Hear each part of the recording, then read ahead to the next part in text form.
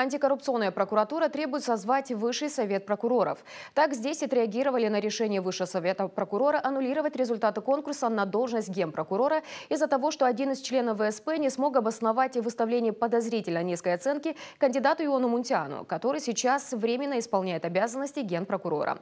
Власти заявили решение объявить новый конкурс, но эти планы могут быть отменены. Подробности далее. A revoca hotărârea numărul 1, cratimă 65 bară 2024 din 22 februarie 2024 privind rezultatele probii de interviu în cadrul concursului pentru selectarea candidatului la funcția de procuror general în legătură cu faptele survenite ulterior și pentru a nu periclita interesul public.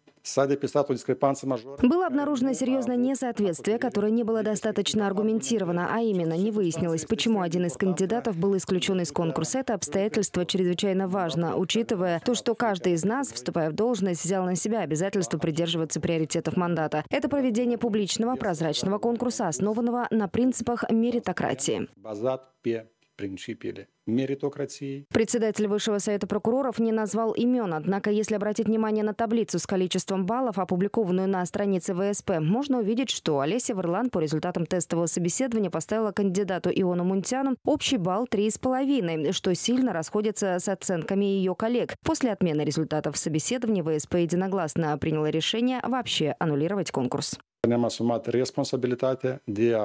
Мы взяли на себя ответственность сегодня положить конец этому конкурсу, переосмыслить механизмы, в том числе нормативные положения, которые регулируют это чрезвычайно важное мероприятие. Мы обязуемся переосмыслить и переписать правила, дабы они были ясными, доступными и обеспечивали справедливый процесс отбора.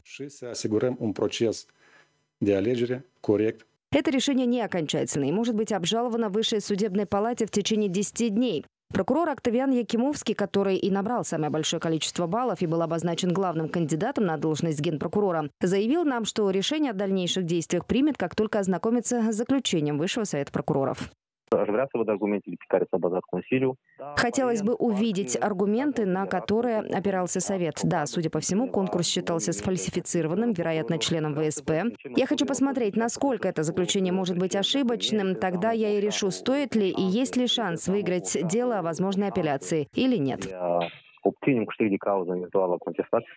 Отмена выборов генерального прокурора – черное пятно в усилиях Молдовы по евроинтеграции. По словам главы Центра правовых ресурсов, избрание генпрокурора к марту является одним из трех условий, которые Европейская комиссия выдвинула нашей стране.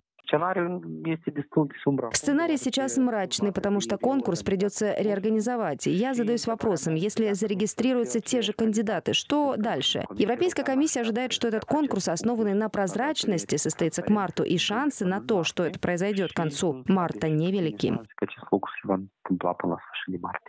Конкурс по отбору кандидата в генпрокуроры ВСП объявил в октябре прошлого года. Изначально крайним сроком подачи документов было 22 ноября, затем возможность была продлена до 29 декабря. На участие в конкурсе зарегистрировались 6 человек, двое из них были исключены еще до проведения тестовых собеседований.